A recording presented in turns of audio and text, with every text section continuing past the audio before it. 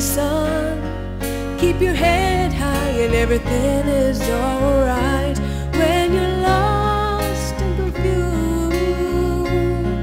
you might be able to find the answers that you want above the clouds. When you're sad and blue, look into the blue sky, and your blueness might be soaked into the sky.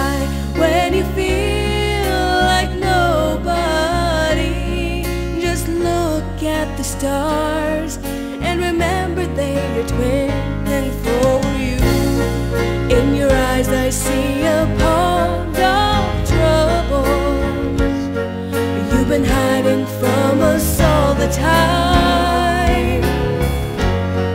But you can't keep it all in forever. Can't you see